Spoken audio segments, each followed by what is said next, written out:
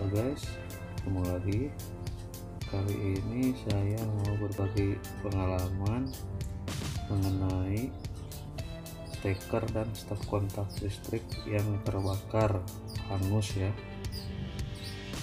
Kejadian ini disebabkan karena colokan yang menumpuk ya.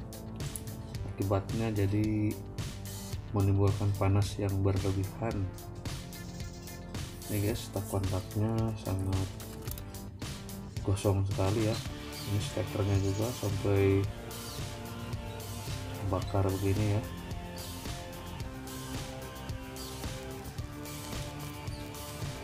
Jadi kalau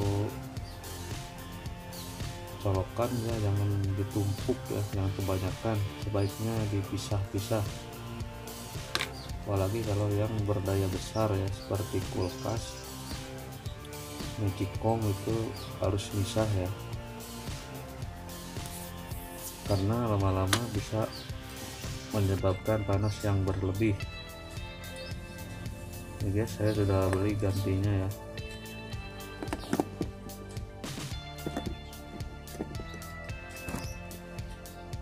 Ini saya pakai merek Broco ya pakailah yang berkualitas baik ya yang standar nasional Indonesia yang sudah SNI ini stop kontaknya ya.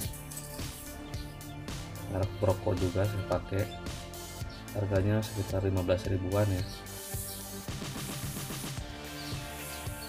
Di tempat saya ya di tempat lain bisa beda lagi harganya. Pertama-tama cek dulu stop kontaknya masih ada strumnya dengan menggunakan test pen ya. Kalau masih ada strumnya test pen akan menyala ya salah satu lubangnya. Ini guys kontaknya ya, belakangnya. Ini kabel satunya di sini kabel satu lagi di sini ya. Ini satu. Nah ya kalau yang ini mah buat arde ya. Ini guys ini cara pasangnya ya gampang sekali. Tapi harus dimatiin dulu ya dari MCB nya ya. Biar tidak ada strumnya ya. Jangan lupa matiin dari MCB nya guys ini sudah dipasang ya. Kuat juga kokoh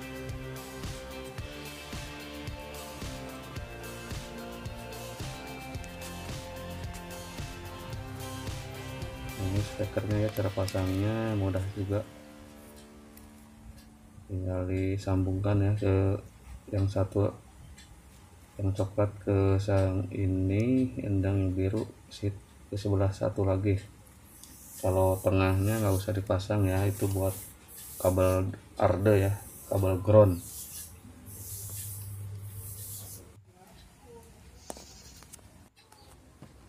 Ini guys akibatnya jika colokan ditumpuk ya. Stop kontaknya jadi gosong begini ya. Lama-lama bisa menyebabkan kebakaran kalau dibiarkan. Agar terhindar dari kebakaran sebaiknya buru-buru diganti ya dengan barang yang berkualitas baik ya. Terima kasih sudah menonton semoga bermanfaat